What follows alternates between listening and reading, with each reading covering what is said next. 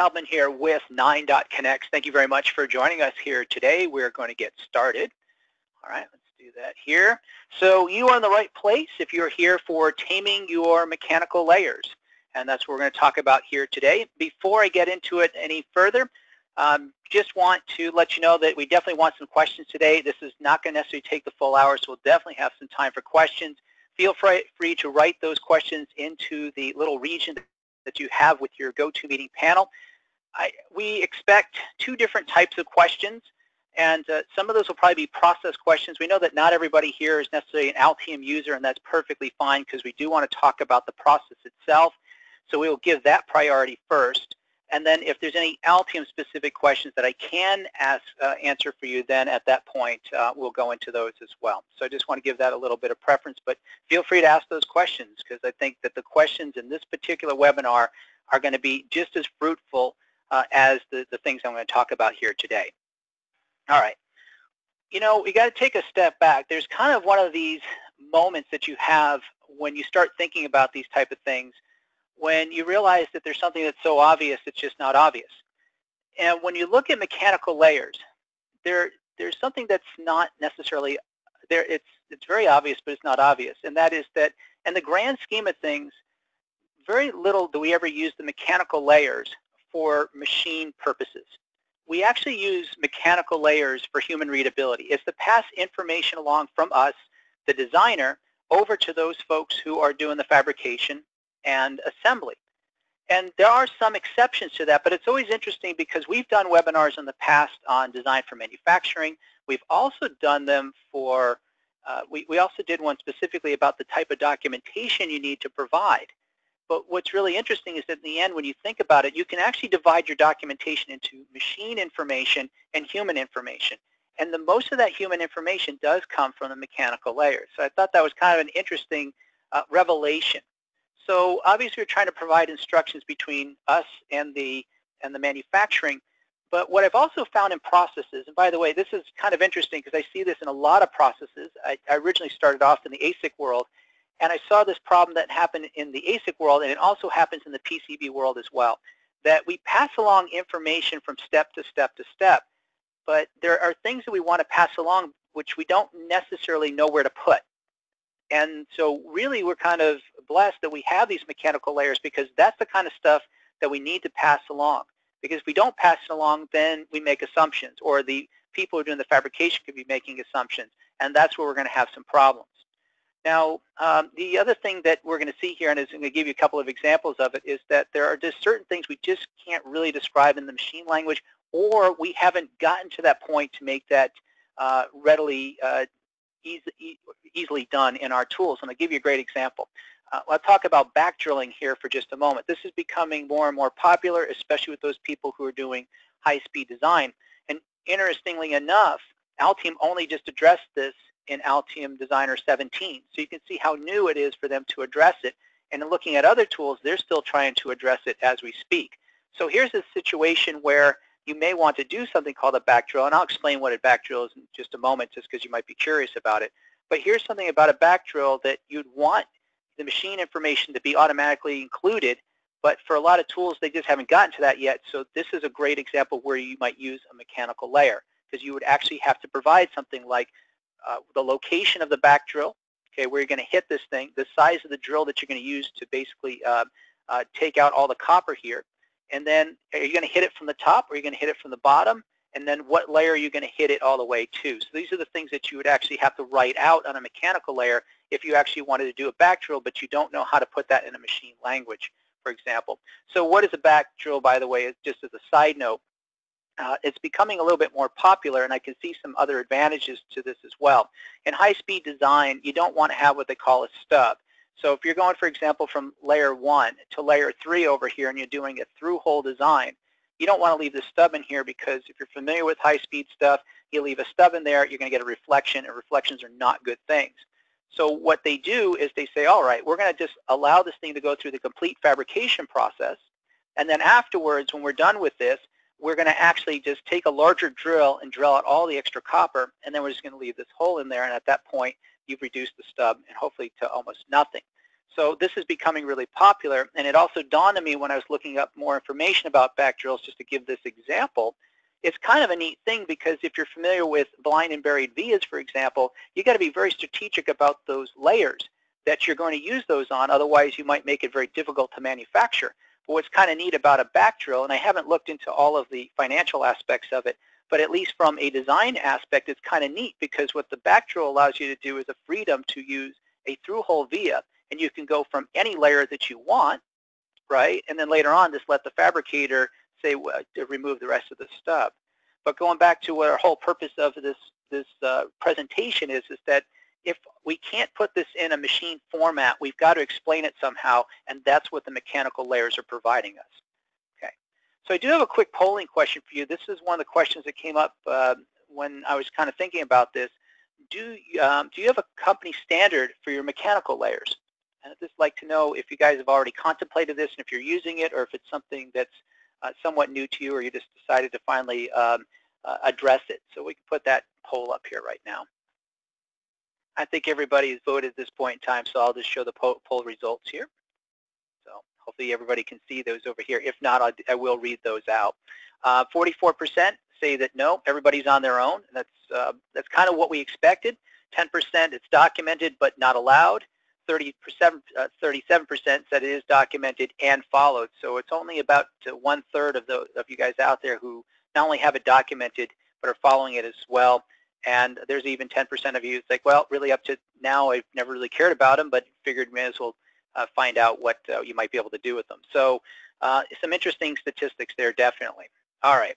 So what I'm going to do over here is I'm going to continue along here, and let's show you a little bit more about uh, mechanical layers.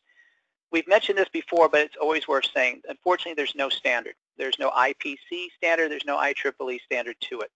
And to be quite honest with you, that's probably a good thing because every company has different needs. Like for example, in the prior slide here, if you're not doing high-speed design, then you probably don't care about possibly having a mechanical layer for, um, for back drilling. But here's another example. There are some companies out there who have to do conformal coating. So if you're not familiar with conformal coating, for example, they put this on there to assist with what they call shock and vibe. And that's in any type of equipment that's going to have a lot of vibration or it's going to be put in harsh environments, primarily in automotive or mil-aero uh, in the airline industry. These are the kind of things that they would actually spray that on. But if you're making something that's really more for the consumer environment, you probably would never have to bother with it. So here's an example of a mechanical layer that people who are doing conformal coating would certainly like to have so they can uh, so that they can provide information to the uh, actually it goes to the assembler at this point because it's a post process after everything has been placed on it to tell them where they want to have it sprayed, if there's areas that they need to avoid or to basically mask out, uh, or what type of material that they want to have sprayed on there because there's a number of different polymers that they can use uh, for conformal coating. Another example uh, here is that some people may actually use glue dots. And glue dots could be used if, for example, you're using a, a very, um, it's a relatively new type of package. Uh, they have some major benefits to them, but unfortunately they roll as well. So if you're using a certain type of package or you're doing a lot of mixing between surface mount components and uh, through-hole components, you may want to consider to have a mechanical layer for glue dots. So you can see again that mechanical layers are really to the um, the eye of the designer. Do we need to have this? Is this something that we need to express to either the fabricator or the assembler? Okay. What I have found in the end, and I will show you some examples here of a mechanical layer set that we've come together, but what I really want to emphasize to you at the very beginning of this all is that there needs to be consistency. Okay? If you have sat on prior webinars we've talked about in the past, I've talked about, let's say, the schematic symbols.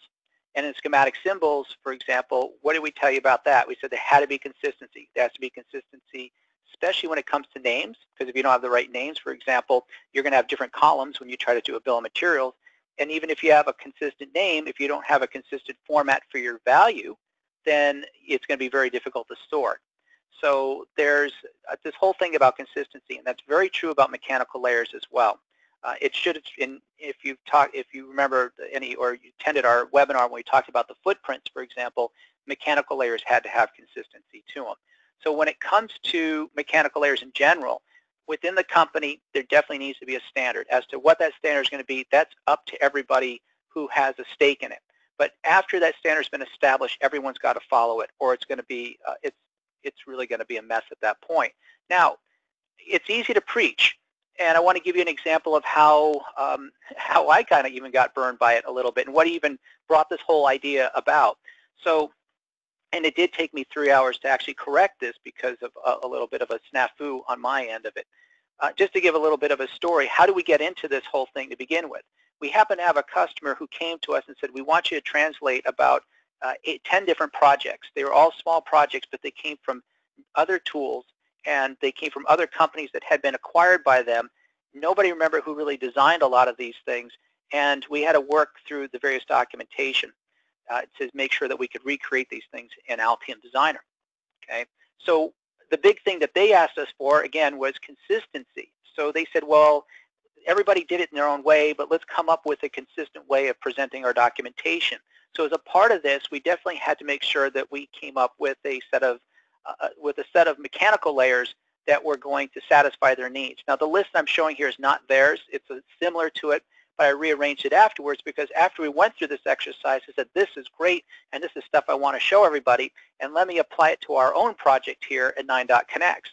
So the project I'm going to show you is something called the rangefinder, and it's something we use for our PCB Foundations class because our Foundations class is all about processes. And we figured, well, we can't preach to the we can't preach in, in, to everybody about using these things if we don't actually have a real design. And so that's what we put together. However, this design already existed. So as a result of that, I went in there uh, from my knowledge from this past experience with this customer, rearranged the mechanical layers, put them all in the PCB design, and then went over to the layout or the, uh, the library at that point in time and realized that they, that my colleagues who had been working on this had come up with a completely different set of layers. Okay, so that required me to go in there and carefully change out the layers so that everything Uh, conformed with each other. And what was interesting about this, just as a side note, is that what happened here was that I was working from the translation side. I was working on the PCB side, not worrying about libraries because we didn't have libraries to import. And what we were doing is creating the libraries from our PCBs, as opposed to my colleagues' focus, which is the design side, where they're taking libraries and creating a design into the PCB. So just just be uh, kind of aware of this consistency. Probably where you're coming from is that you're probably more coming from the design side. So make sure that you start off with your libraries first, understand how those have been set up, and if they're not set up properly with the mechanical layers, put the time and energy into because they will impact the mechanical layers that you're ultimately going to be working with on the layout side there. So that was kind of the, the story that I learned here, and hopefully um, it's something that you guys can take away from this this is all I really want to show you on the slide side. Let's get into some, um, let's get into the mechanical layers themselves. So what I've done over here is taken our rangefinder board here and added in some layers, and I've also grouped them as well. And I'll talk about grouping here in just a moment. But in order to do any type of grouping or any type of organization of our layers, we need to have a set of layers. So let me hit the L key here, jump on this here, and let's do that again and we'll bring that up over here. And let's focus in on the mechanical layers. So this list that I'm putting forth is something that you can take, you can add to it, you can remove from it. You may see things in there that are a little bit unusual. There are ones in there that you'd probably think you'd never use, and that's perfectly fine. And that's the point I want to drive across over here is that, yes, when you come to these things, there are ones that you probably more than likely want to have, but there are going to be ones uh, that uh, we, we're presenting that you probably wouldn't want to bother with. So let me talk about a couple of the things here, uh, more of the mechanics of it. First and foremost, notice the naming convention that we've used here.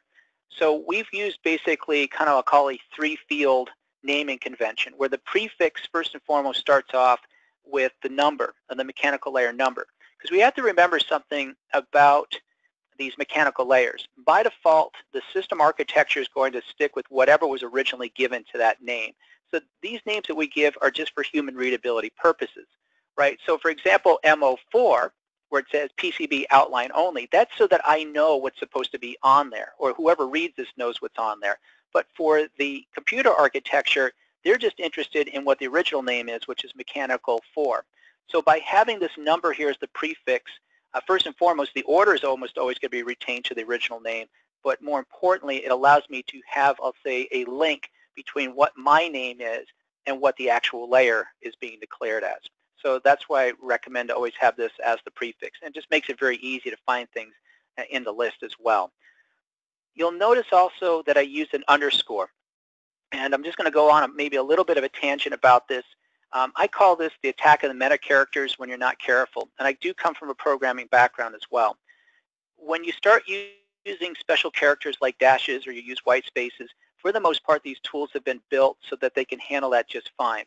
But what I'd caution you on is that we have to remind ourselves that these tools were not written in one day by one person. They've been written over time by many individuals who write different functions uh, for these tools. And sometimes what happens is they don't build that particular function uh, with a um, with the intention of handling special characters very well. So maybe, uh, for example, you use an asterisk in there or you used uh, a dash in there, and sometimes those things have a certain meaning uh, depending on the operating system or depending on the program. Uh, and it can be misinterpreted, and as a result, it may do some unusual things. Now, I bring this up because when I used to do support at Altium, I used to actually have a list which I called the attack of the meta characters. So when someone would call up and they said, look, I've been using this tool for years, and now all of a sudden uh, this particular project is just not working right for me, but all my other projects have worked fine, more often than not, it would happen to be something that they put in the names. So I'm, I'm always of the opinion and impression to, if you're going to come up with these names over here, you may just simply want to keep to the programmer's convention, which is always alphanumerics and an underscore if you want to just provide a little bit of separation for the ease of reading it. The other thought that I have with this too is that also keep in mind that a lot of times this data, even if it works perfectly fine in your EDA tool, is going to get pushed over to other tools on the fabrication of the assembly side as well. And hopefully they've built their stuff and have made it robust as well, but you're chancing it when you start throwing in other meta characters. And by the way, I guess I should define meta characters as anything that's non-alphanumeric. So for any of those uh, symbols that you have to hold down the shift key that happen to be above, above your number line are considered to be meta, meta characters. So uh, that's why uh, I'm very keen on always using the underscore here. In the programming, in, in, for programmers, basically they've always used underscores as kind of the um, visible white space, if you want to call it that, and it works just fine. So that's, uh, that's kind of my little tangent about um, when you're coming up with naming conventions, be careful about using these characters that um, are not are non-alphanumeric. The middle, uh, we'll call it the, the middle part of these names is simply nothing more than a good description. So you want to come up with a description that everybody can read. It doesn't have to be super long. As a matter of fact, when it comes to MO8 or MO9, I probably could have gotten away with uh, comp mech, but you know, I just spelled it out there and it's perfectly fine. I can read it. And of course, the last one, if there's a view that we need to put it in, uh, so we have a top and a bottom as well. Some of them do need it, some of them don't. And it's just a matter if, if they do need it to make sure that you spell that out there. So it's really easy to read this. Now, what about the me mechanical layers themselves? You've probably seen some in here that don't make a whole lot of sense to you. Some of them you'd be a little bit surprised about. Uh, two of them I can think of off the top of my head. First and foremost is like the bill of materials. So do you need to put the bill of materials in there? Absolutely not. Uh, it was interesting. Our customers asked for it, and it made it made sense for them because their boards were actually very small. And so I was trying to figure out, well, what point does it make sense to put a bill of materials in there, and what point does it not?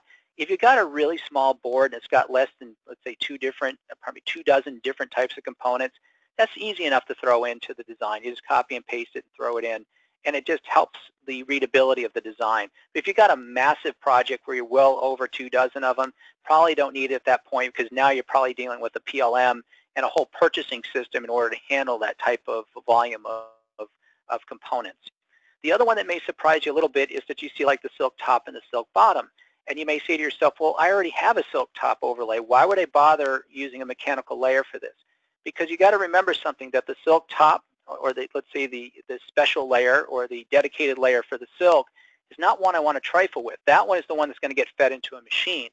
So if I want to add additional notes to it, I've now got this mechanical layer that I can use. So I can put all those additional notes on there without actually impacting that layer itself. So again, just a readability issue. So these are the type of things that we put on there.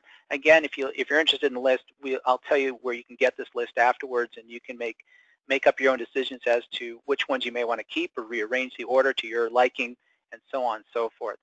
The other thing you may have noticed is the color scheme here. And I think it's kind of interesting, and I've had to put a lot of thought into this. But we seemed we try to make this huge effort to try to provide a different color for every single layer. And I think we see that in all the designs and exercises. But if we start grouping things, and again, I'll talk about grouping here in just a moment, the you don't really need to do that. Okay. Um, really the key thing that I find with colors is contrast. And the best, obviously, contrast that you can really have is a black background uh, with white lettering on it because that's the perfect contrast. And as a matter of fact, you can you'll notice that MO1, MO3, 5, 6, and 7, they're all same color, they're white, because I figured that, you know what, I can tell the difference between what's a note and what's a stack up and what's a part of the template. So I really don't need to provide it all these different colors. So that, that was my rationale on all this here. Now you'll also notice that we have a border template. So you can, you can see that over here within the screen itself, and that one is in white. But I purposely gave the bottom template, the reverse of it, um, a very different color. So I knew that if I was working on the bottom or viewing it from the bottom, uh, that I was definitely using that particular template. So that was why I picked these two, uh, these two colors as such. But you'll notice that for what I'll call those mechanical layers that are not of textural data but of graphical data, I just simply said, okay, anything that's on the bottom is going to be this orange, and anything that's going to be on the top is going to be this light blue. And, uh, and that's what we've got over here. So this kind of gives you an overview of the mechanical layers, but let's see them now kind of in operation. So what a lot of us tend to do, and I've been doing this a lot too, and it's kind of silly for me for the all this time that I've spent in, in looking at these things, but more often not what we do is we try to fish through and we try to find those things that we have. And sometimes for us, if you're familiar with Altium, we'll go into what's called single layer mode, which is a shift S, and then we'll try to find things that way as well. And we'll do things like that. Or other times we'll hit our L key and we'll dump, jump in here and we'll enable and disable things so we can try to make heads or tails of the views that we've got. Well, interestingly enough, there's a feature in the tool that's always been there, and I've known about it, but I never put two and two together. And uh, it's it, not until we actually started doing this project with this particular customer. So I do want to throw up our next poll question here. And the next poll question is this, is basically have you used, have you grouped your mechanical layers together? Okay. I'm curious to see if you guys have, have made use of this. All right.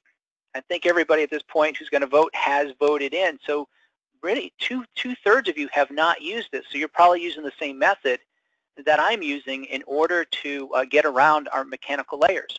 Uh, or you're just not using the mechanical layers at all. But there's actually a really neat feature in Altium Designer and probably in any other EDA tool that's out there that's worth its weight that you can group these things. So where I'm going to go with this here in this particular example is I'm going to go down to this thing called LS, which is called Manage Layer Sets. And what you're going to notice over here is there's some defaults over here. So if I want to look at all the mechanical layers, I could just turn those on. And what it does is instead of me going through and manually turning these things on and off, you can see that these things have been turned off, and now I just see the mechanical layers. I can set these up so I just go into this list, click on what I want to see, and it will turn those things on and off for me. And what we did with the customer, and this was just the brilliant aspect of it, was that what we did with these mechanical layers is we grouped them together to form a story for something in particular. So let's look at, for example, the notes page. So when I clicked on this, what we were able to do is take the information from these five different layers to put together our notes. So what do we have in here? Well, we've got a top and bottom layer, which aren't even mechanical layers. They actually are copper layers. We figured to throw those in here since you know it just adds to the uh, to the notes and representation of the board itself. But even if we didn't have this in here, we have the border template, okay? We've got our notes, which are over here, and then we also have something called the PCB outline only. And let me talk about that for just a moment. As I mentioned earlier, what's really interesting about mechanical layers, as you're seeing here in this example, and I think we're driving home this point, they're for human readability purposes. Now, more often than not, we just throw everything through the Gerber set, right? Or it, ODB++, whatever we've got for layers, we just tell the tool, take every one of my layers, regardless what it is, and put it into the, into the fabrication format. But it may surprise you to know that very few of those layers ever actually make it into the machinery. But one of the layers that they've always asked for is this one that's called uh, the outline only. And the reason why it's the outline only is because that's all they want on it is the outline. They don't want any more information on it. They don't want any notes. They don't want any dimensions. They don't want any template aspect of it. They just simply want a layer that shows the outline because they can take those accurate coordinates and use that in their system. And so that, that's probably the only exception to it. But the rest of this stuff is just for us, for our, you know, for our visual reading of this over here. Also notice one thing about the mechanical layers. Not one mechanical layer does it all. It's all these separate ones that are brought together, overlaid on each other, that provides us what we see here. So if I went into the single layer mode here again, you know, here's the top layer. Well, that doesn't tell me much. The bottom layer doesn't tell me much. The template's nice, but it tells me nothing. The notes are okay, but you know, it, it's it's void of any other information other than uh, just simply the fabrication notes. And of course, the board outline here doesn't tell me much as well. But when we put these all together, it tells me a whole story. And you can see this with any of the other ones. Let's go to the silk one, for example. Uh, so for the silk top over here, so here's the silk overlay. So as I mentioned earlier on, I don't want to mess with the overlay itself because that's what is going to get uh, fed into the uh, into the machinery when they do the uh, when they do the inking of it. Excuse me. but I also have my outline turned on. I also have my border template on, and if I wanted to put any notes outside of the uh, outside of these this overlay, I can certainly do it. As a matter of fact, we made it uh, made it light blue over here. So if I wanted to say, hey, use a certain color on this, or hey, if you got a smudge and it's not over the uh, over any of the copper, I'll accept the board. So you can put notes in there as well, and it'll have no impact on the top overlay. So how do we do this? Well, very quickly, and again, this is specific to Altium, but I've got to believe any EDA tool out there will do something very similar to it. We click on Board Layer Sets here. We create a new set. Okay, just click on this, and I'll just make it empty just to give an example. And once you've got this, you give it a name, and you just turn on whatever layer there are that exist in the board. And you can see that all these layers are, pretty much every layer you've got turned on or available is going to be um, available to you so that you can turn those on and off. The only other thing I wanted to show you over here is, uh, and this happens to happen to be with Altium, I'm not sure other tools will do this, but when you start viewing things from the bottom side, it gets kind of interesting because then the question comes, do I want to view the bottom through the top or do I want to flip it over and view it from there? So you get what they call the mirroring of the mirroring. So I'm going to turn this off over here on number three, and then you can see what this looks like or where I'm going with this. So if we're dealing with the bottom layer, what do we need to do here? Well, I'm going to go over here to LS, and now that I've turned off my bottom layer here, let's take a look at um, the, uh, the solder side, what they call the bottom side here. Okay. So what I did was actually I take the template, and when I copied it from 01 into 02, I flipped it to the back side. Okay, so this is what it would look like. I'm still looking through the top over here, but you're saying, okay, you're looking through the top, but you flip this over. So why is that? Because what I want effectively is the mirror of the mirror. So when I go back in LS, for example, and I go to my board sets, and I go over to um, my solder side here, and I say I want to view from the bottom side, right? And I'm going to close this now. It's turned on. I'm going to refresh it by just clicking on it again, okay? Now really what I see is the true bottom side, but I can also read my template over here. So that's why I call it the mirror of the mirror. But the default in order, in order for me to bring this in was actually I had to flip it to its backside. So um, Altium gives me some flexibility uh, on this particular thing. Again, I don't know if other tools have this. I got to believe any of the tier one tools would certainly do something like this. But that's how you, you handle this.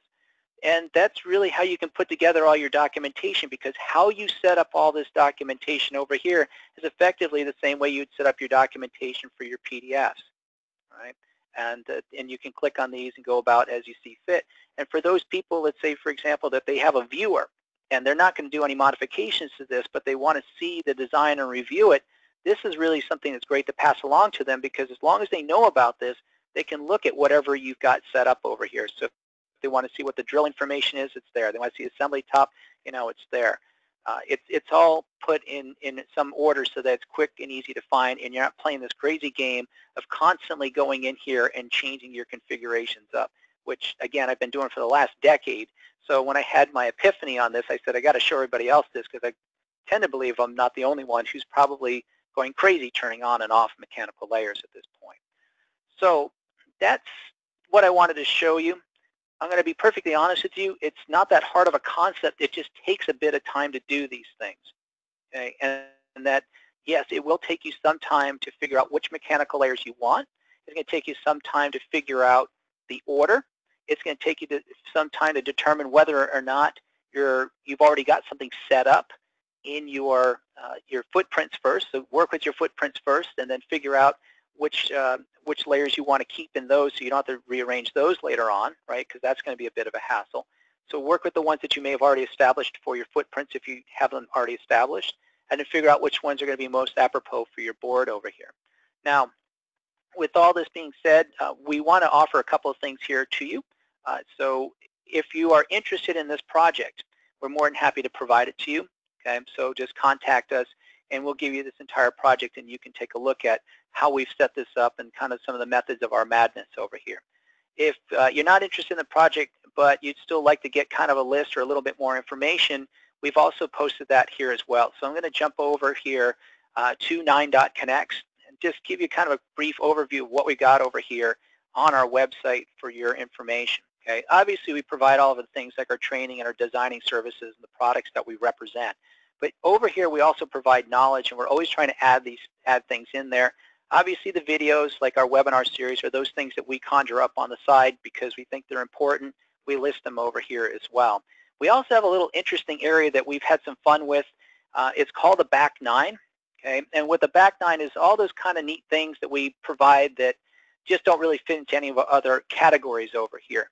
But under one of them, which we call the AX files, um, kind of a little humorous name, uh, AXes are ex um, Altium ex-employees. A number of us used to work at Altium, so we kind of jokingly call that here. But these have to relate to, I'll say, not just Altium, but even EDA tools themselves. So even if you're saying, well, I'm not going to use a Vault because I don't use Altium Designer, the concept of a Vault also applies to a PLM too. So if you've ever been kind of curious as to what a PLM might provide you, you may want to take a look at this because there's always these questions about what is the methodology behind something like a PLM or a Vault.